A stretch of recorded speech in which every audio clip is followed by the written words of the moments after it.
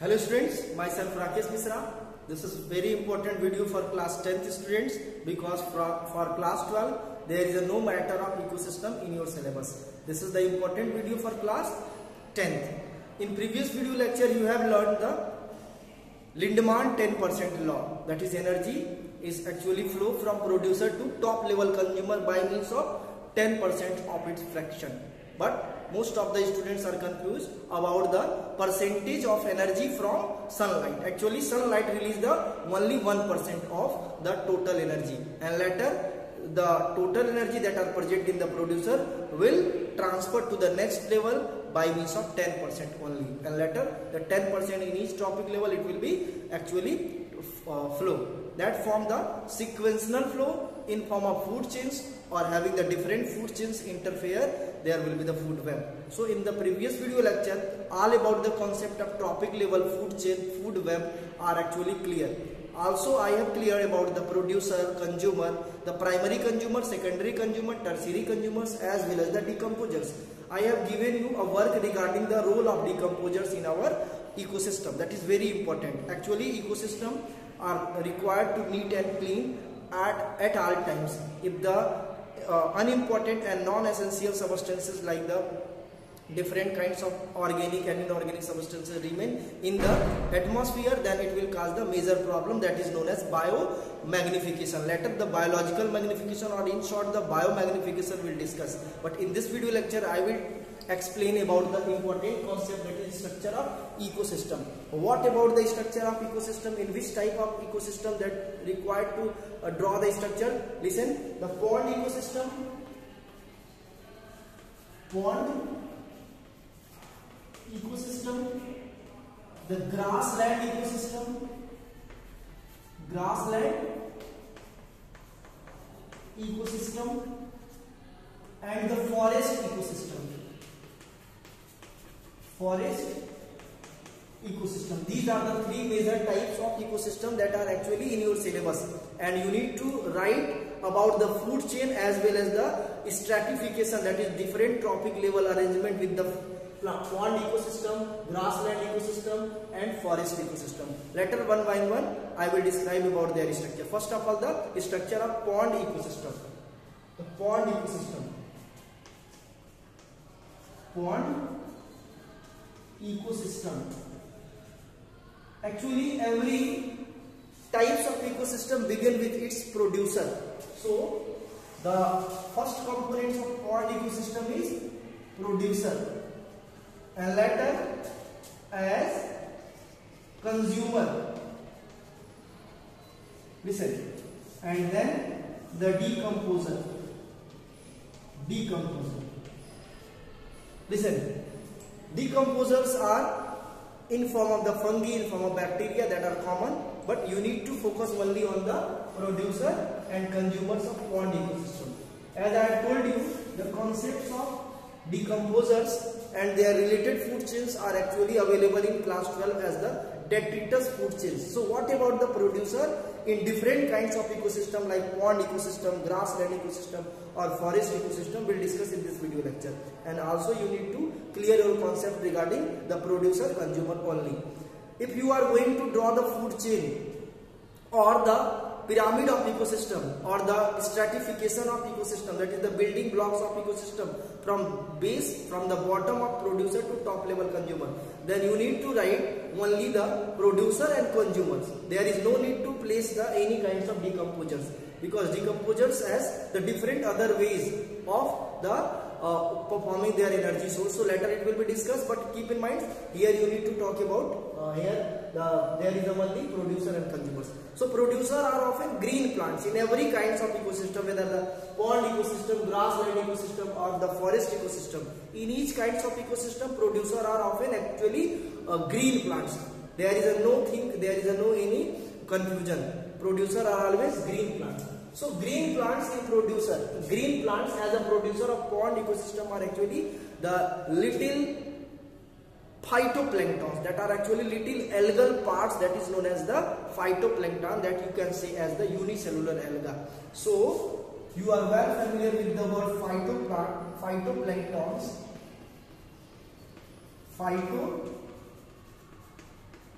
Phytoplanktons. Here the word phyto means related to plants phyte word related to plants chlorophyta phaeophyta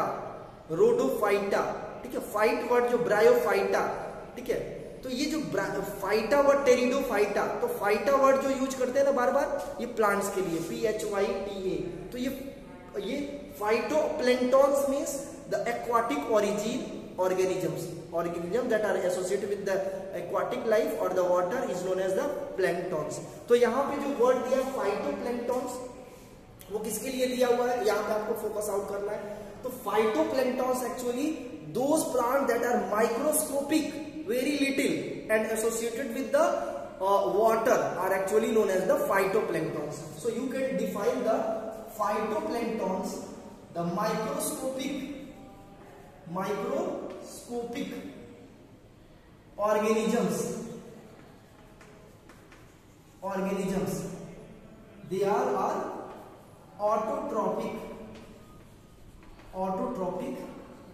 in nature. Microscopic organisms autotrophic in nature, and next characteristic is they all are aquatic. Keep in mind. An example, unicellular alga and they all are dominant producer of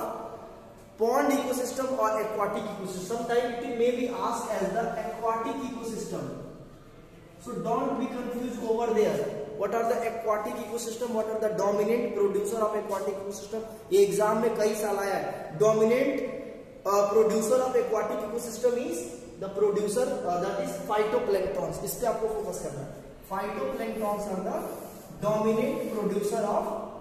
the aquatic ecosystem little unicellular algae ठीक है तो ये microscopic autotrophic होते हैं aquatic होते हैं और unicellular algae होते हैं ठीक है लिटिल होते हैं छोटे होते हैं माइक्रोस्कोपिक होते हैं अब आते हैं कंज्यूमर अब जानते हैं कंज्यूमर बहुत हो सकते हैं प्राइमरी कंज्यूमर जो डायरेक्ट डिपेंड होते हैं किस पे ग्रीन प्लांट्स पे उसके बाद उनको खाने वाले सेकेंडरी कंज्यूमर फिर उनको खाने वाले टर्सरी कंज्यूमर तो इस बेस पे हम लिख सकते हैं primary secondary and tertiary consumer primary consumer primary consumer secondary consumer and tertiary consumer primary consumer कौन है कौन डायरेक्ट इनको खाता है लिसन जू प्लैंक्टॉन कौन खाता है जू ठीक है तो जू प्लैंक्टॉन्स कौन होते हैं यूनिसेलुलर और सेलुलर वेरी लिटिल इंसेक्ट्स जो छोटे छोटे कीड़े होते हैं जो इनको खाते हैं उसको बोलते हैं जू प्लैंक्टॉन्स तो एग्जाम में आता है primary consumer of pond ecosystem और एक्वाटिक इकोसिस्टम एग्जाम में आएगा तो ये क्या हो जाएंगे जू प्लैंक्टॉन्स इसमें क्या बनेगा हम लोग जू प्लैंक्टॉन्स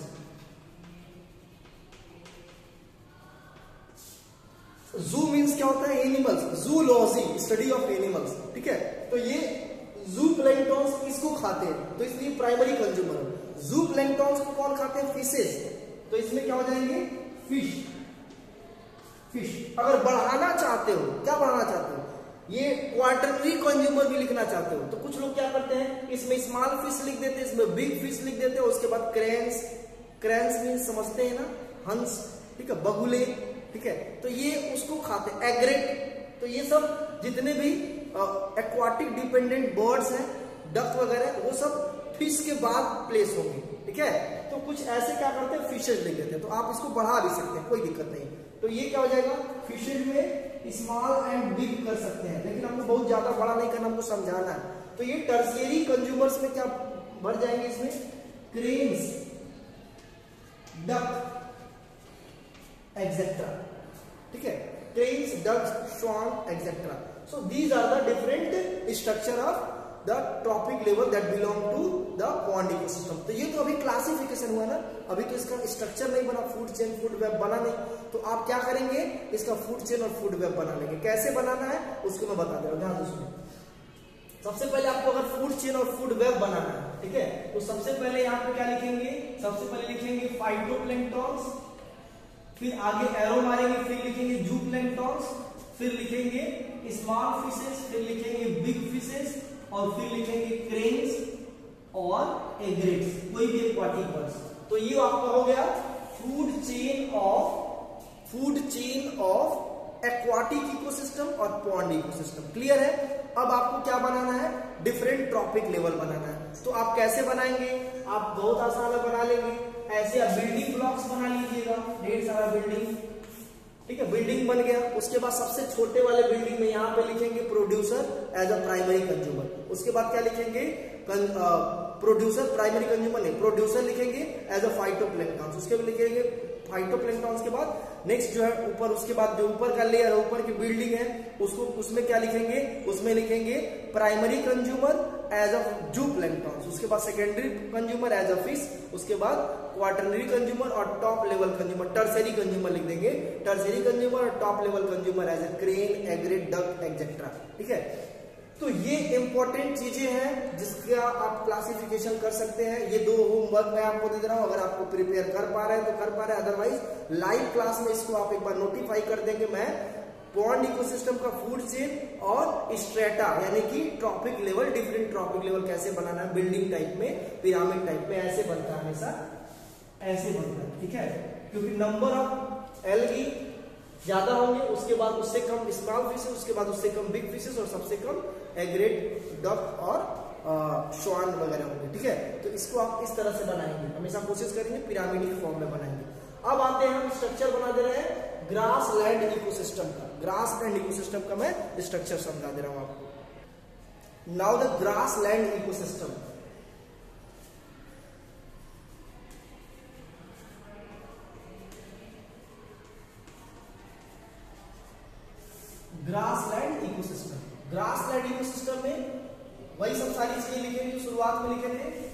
सबसे पहले क्या लिखेंगे producer then consumer but there is no need to write about decomposer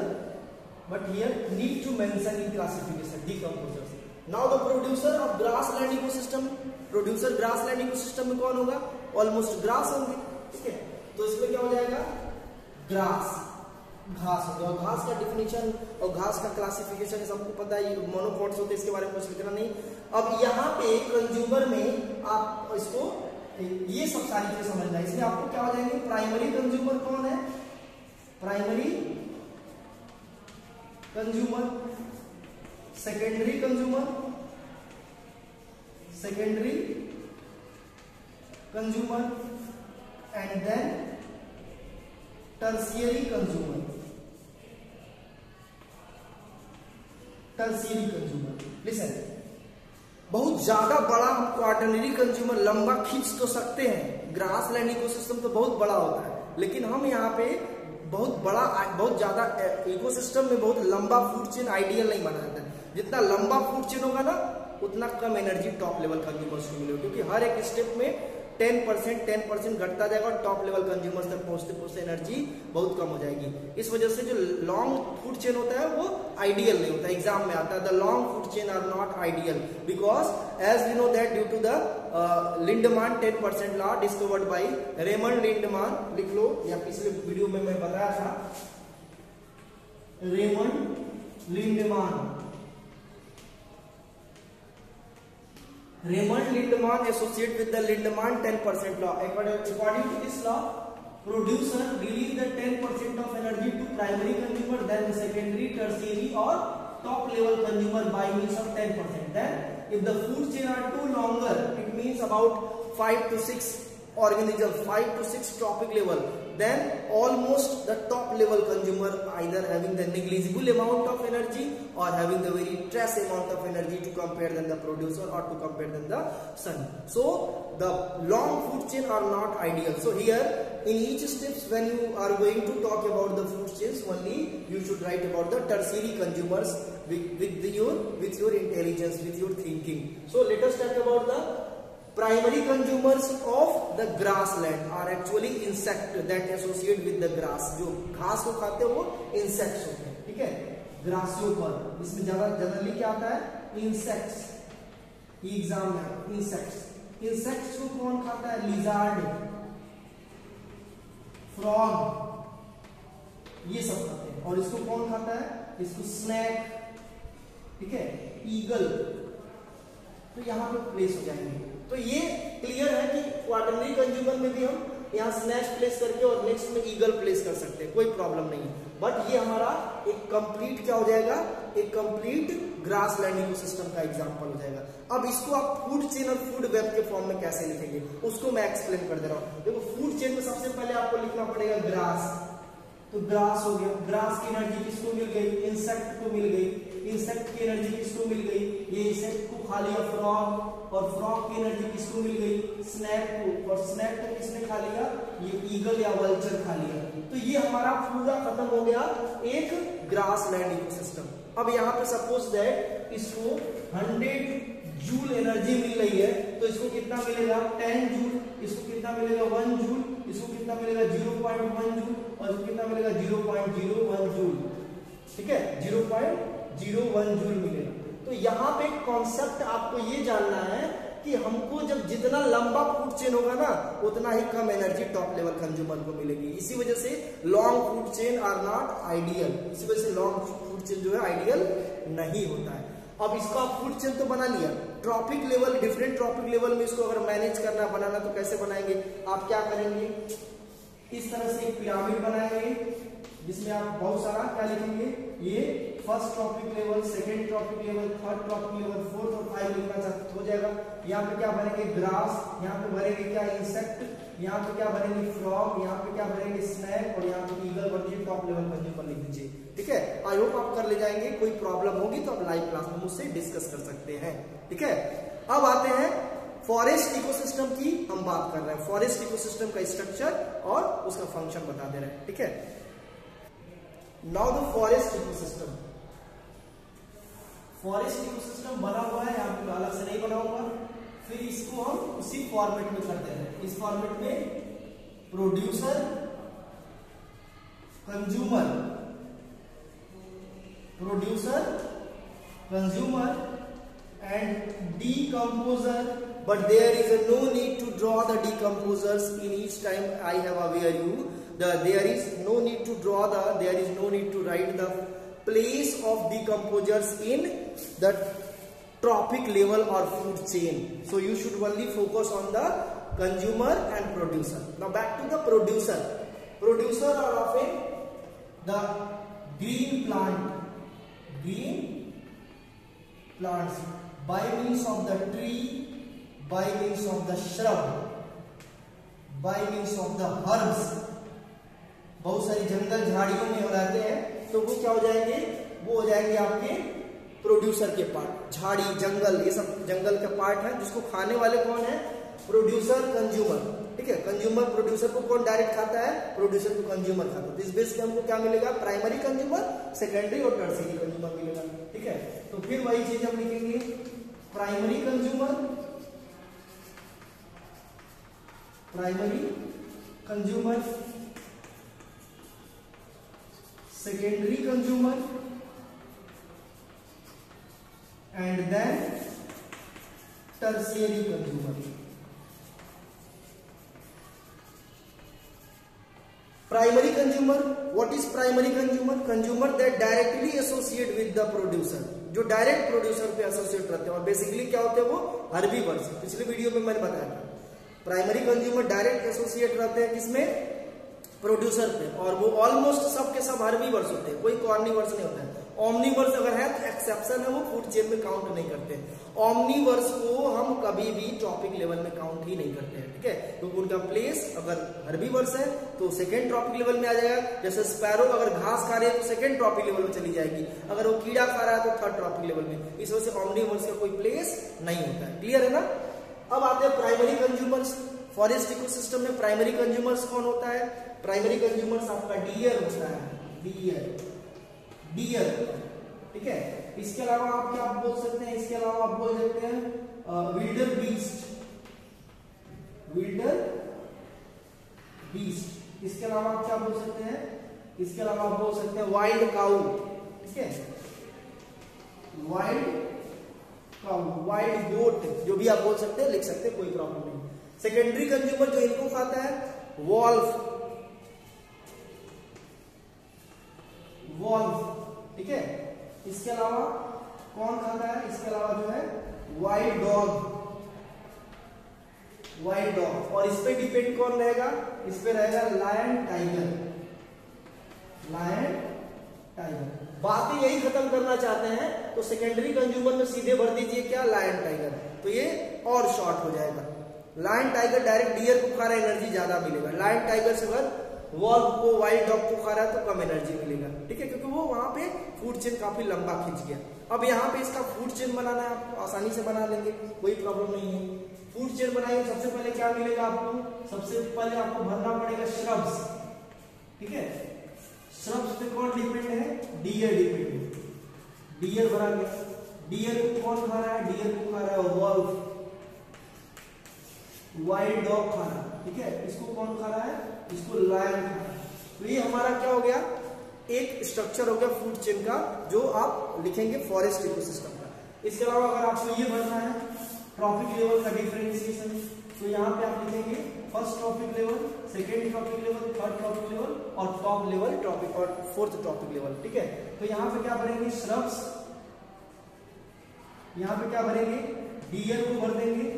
है यहाँ पे क्या करेंगे वॉल को भर दीजिए वाइड डॉक को भर दीजिए इसमें लाइन को टॉप लेवल में निबल को भर दीजिए आई होप आपको structure of pond ecosystem structure of forest ecosystem structure of grassland ecosystem clearly अच्छे से समझ में आ गया होगा इसके बाद भी अगर कोई प्रॉब्लम है तो लाइव क्लास में आप उसे डिस्कस कर सकते हैं ठीक है you have a homework write down the longer food chain are not ideal why the longer food chain are not ideal Y. The second question, which among the pond, forest or grassland ecosystem has a longer food chain? ठीक है अब आप दोनों में फूड चेन जब सबका कर लीजिएगा बना लीजिएगा और सब सारी चीजें लिख दीजिएगा अगर आपको आंसर आ रहा है तो कमेंट बॉक्स में जरूर बताएंगे थैंक यू